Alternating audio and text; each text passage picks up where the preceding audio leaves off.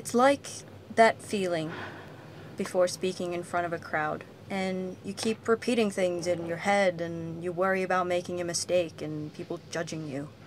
Except it's anytime, or all the time, and there's no speech. There's no manuscript telling you what to say, and there's no set time leading up to the moment you're afraid of. And there's no sigh of relief after it's over because it's never over. It's the acute awareness that you can't put toothpaste back in the tube. It's the monkey in your head telling you not to step outside because someone might notice how flawed you are, and the more people that find out you're a freak, the closer you are to impending doom. It can take me like an hour or more just to leave my house.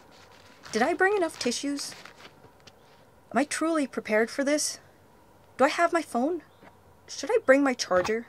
Is my makeup still in place? What will happen once I'm there? Will we eat right away?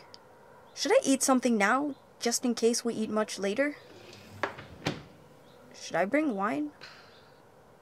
Maybe I should just bring food. A lot of the time, I just try to muster the will to actually leave. I wonder who's gonna be there.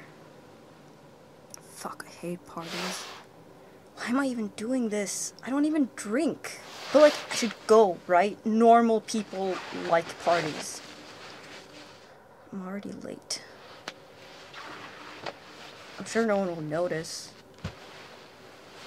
God, I'm so fucking tired. Maybe I shouldn't even go. I should text Rob and tell him I'm not feeling well. But, fuck. That's such a lame excuse. I should make coffee.